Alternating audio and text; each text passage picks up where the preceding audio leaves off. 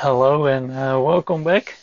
Today I have something pretty cool, I would say, and uh, that is uh, the Advantest R6142, and that is a programmable DC voltage and current generator. And I actually ran into this one when I was looking for new multimeters or new. I'm browsing always the eBay or my local uh, marketplace where I'm looking for for multimeters. And and a lot of time if you uh, look at those pictures because the seller is of course trying to promote the meter and showing that it is really good. And then a lot of time you find on eBay that people have this Advantest. And um, then I started looking for it and I didn't find one or they were very expensive.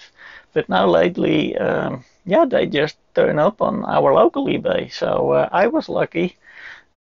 There was a seller who actually had three of them. Uh, turned out he was also uh, a viewer of my channel and I was able to, to pick one. So it is here. And well, I found already little tricks in the manual how to how to use it, and you can set voltages and currents in in different way. It's only for DC voltage and DC current. It is a bit of a limited of a model because it can only go up to 12 volts and I think 120 milliamps. And here it is uh, close by, and it's actually pretty easy to operate you can just use the arrows up and down. But if you can see in the green maybe if I zoom in a bit more. It also has green numbers here. And then you can actually use the data input. But controlling it with the buttons is is already pretty nice. Uh, but if I say I want 10 let's say 11 I do data I do one one point zero, zero. You need to complete all the digits and then you say, I want volts or millivolts. Well, let's do millivolts.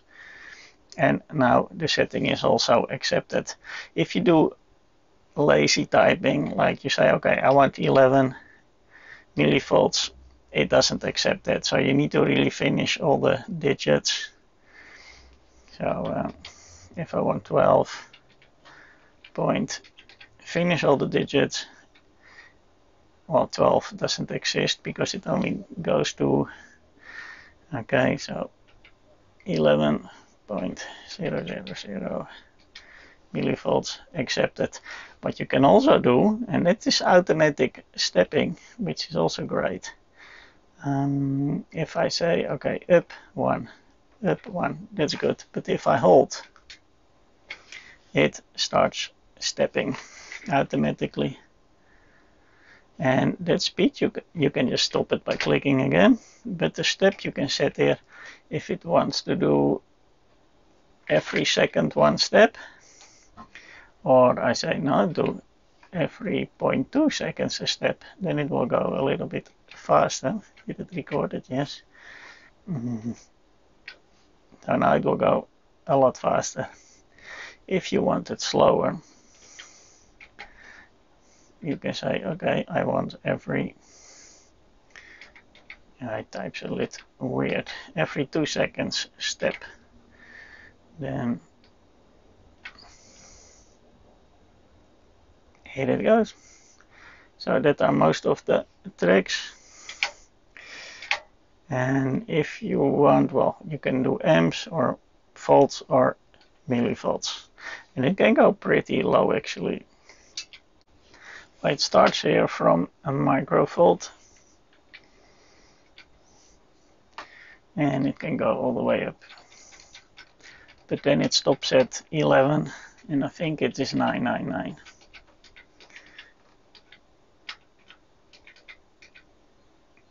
this is and then it goes to the next uh, range. So if you want above 12 you need to change your range and then it is just uh,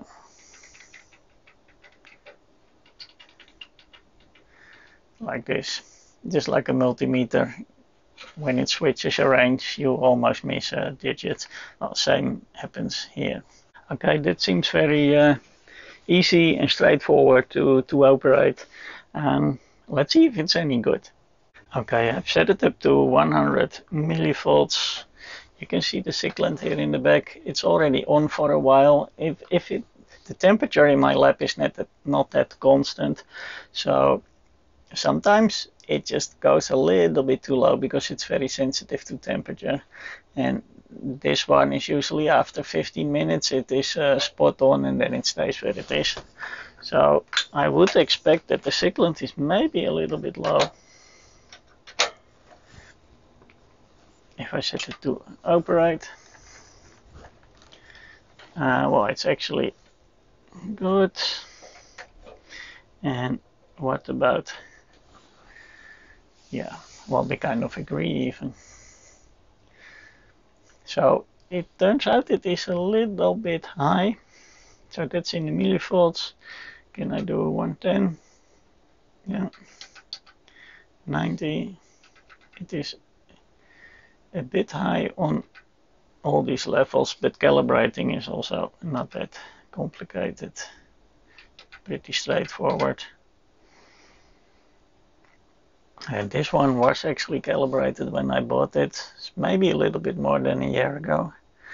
And this one was just almost new when I got it and but they also agree. So uh, if I go to voltage, this is 200 millis. Here it didn't switch over, but they still agree. Let's do a bit more. One volt. They still agree, and it's still a fraction high. But it's uh, pretty easy to operate. And yeah, the level is, uh, the limit is about uh, 12 volts right now. Almost 12. This one even thinks it's, oh, I can do yeah What about uh, milliamps? Let's see, one milliamp. We need to switch it over to DC. Okay. Um, first connect.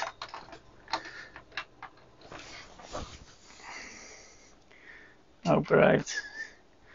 Do we have one milliamp? Look at that. One zero zero zero zero one zero zero zero one and sometimes a zero. That seems pretty spot on. What does the Siglent think? The Siglent also thinks, look at this. And a little bit more. Can I do a range here? 10 milliamps. Yes. One, two, three zeros. One, two, three zeros. Look at that. 10, 0, 0, 0. Ooh. Yeah, 100. 100.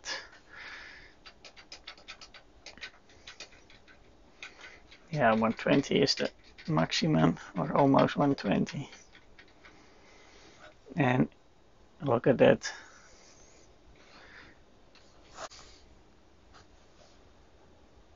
So that seems to be good. It's responding. The values are almost almost good. Maybe we can improve that by, by calibrating. We need to go to the procedure.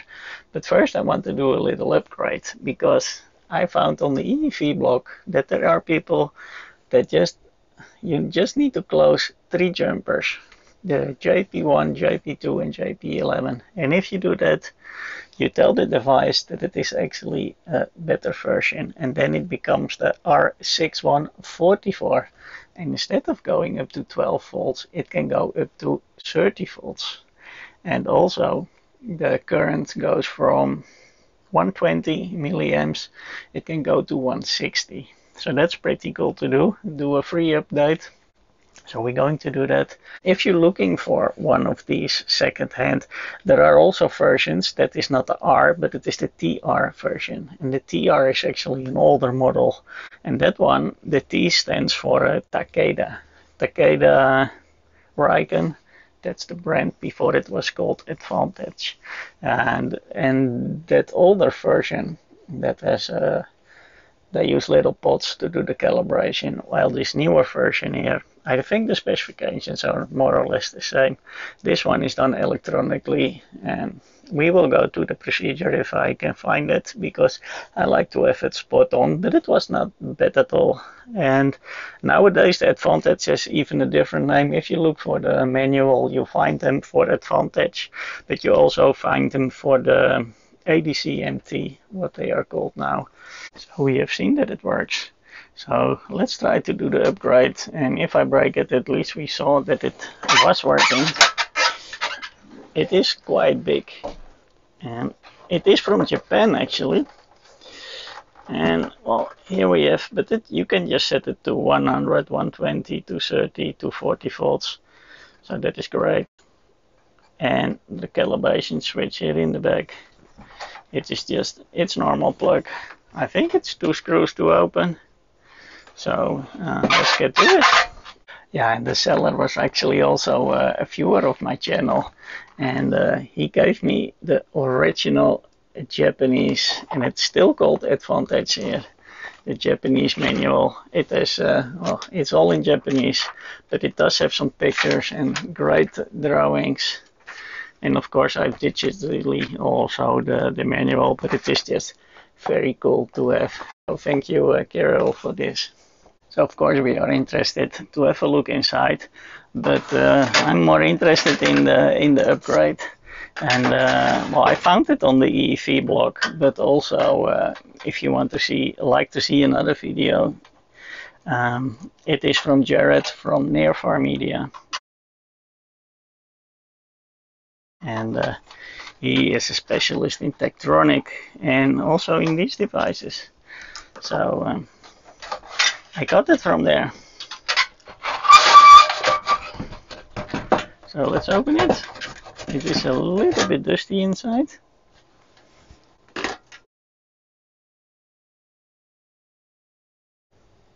Okay, this is what the top looks like. This is the processor board. And well, the EEPROM is here. I think it holds the firmware. I think it was 0204 that this one is running. And well, we need to find the jumper.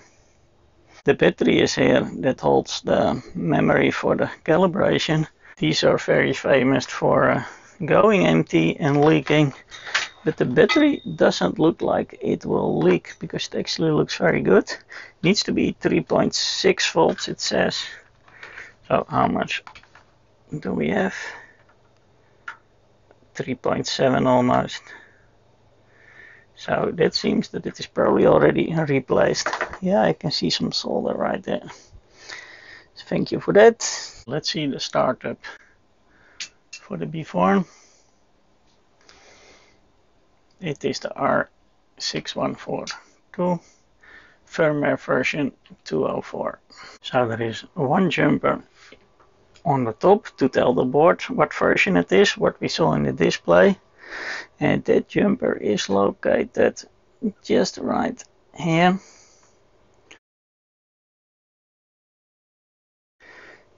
So it's the between the second and the third IC. I try to zoom a little bit and we have two jumpers here one is on the voltage and one is on the current to uh, take out the limitation so here is one and here is one.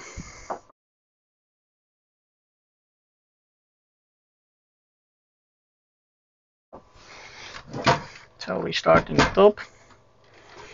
Let me try to zoom in on that. So it is on that second and third right here and it is just a little bridge that is cut. So we just need to bend it back and then uh, we can solder it.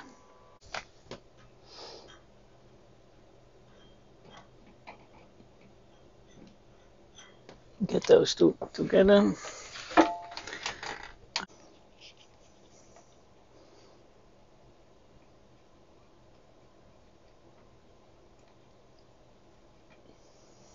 That is done. Go over to the other side. And then we need to be here and here.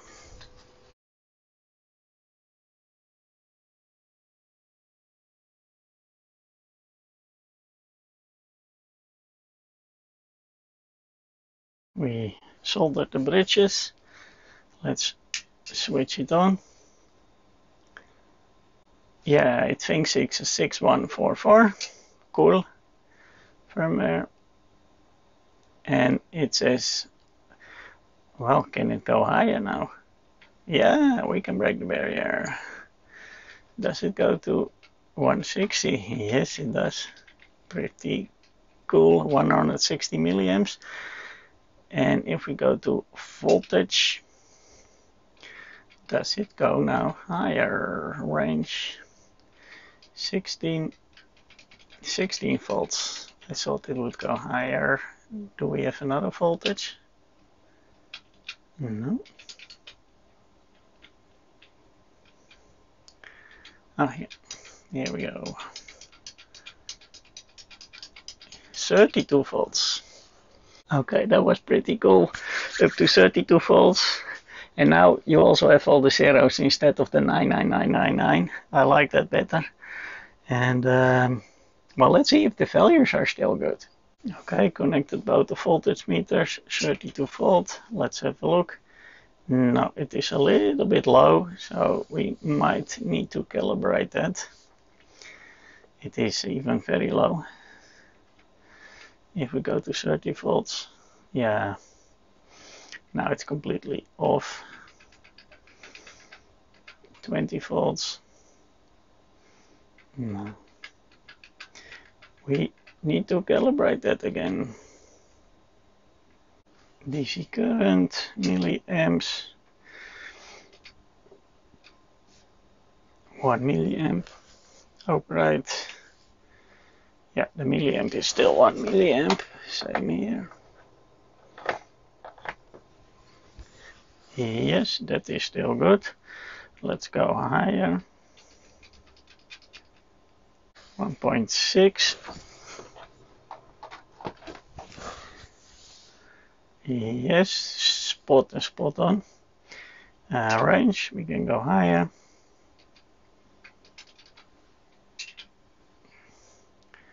160 is the highest. Well, look at that. That is very near to 160. So the current is still good, well the voltage needs to be recalibrated. Okay, the calibration, we just have it switched on. And then there is this little switch and the big switch in the back. The big switch, you click, then you do step and then milliamp or millivolts. So I do milliamps now. I put it in upright and now I'm doing the zero. And the zero here is almost zero and we can try to adjust that with these buttons little steps medium steps or big steps so I want to change that it is exactly zero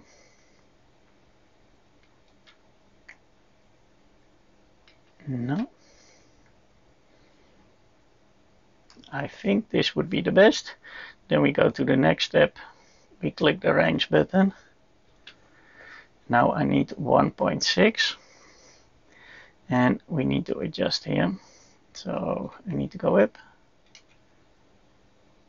a lot more up.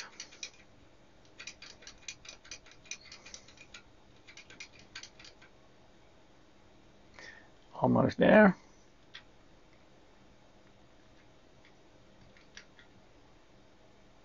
I would say this is 1.6. Yes, we go to the next. Zero again.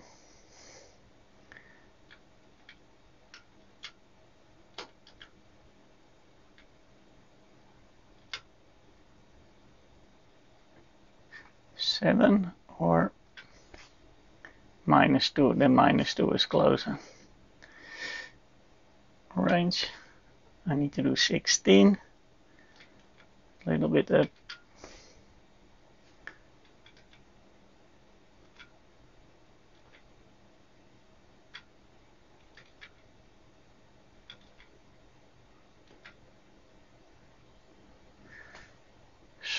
Monotone.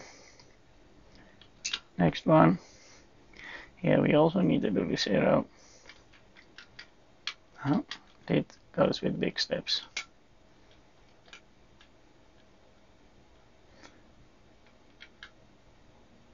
Twenty-two or plus seventy or minus twenty-two. Okay, then it's this range. Then we do the 160, that was almost there.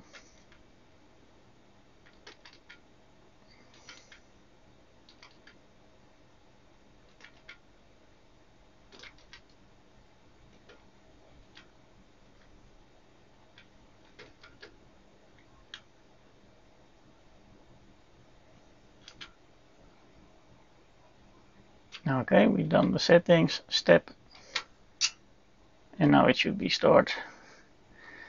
So if I go now to milliamps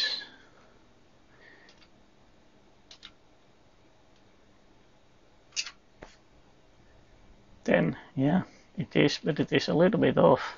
But it is here 0 0 and here it is 0 0 6 and if I go to 20 100 it's still a little bit off. How come? Oh here it is good.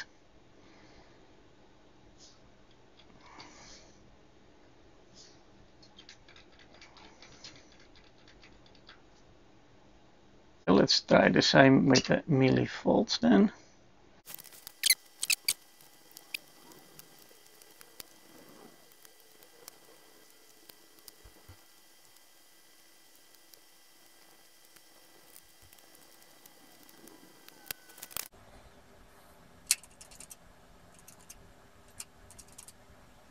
So once you know how this is done, it is also not very complicated.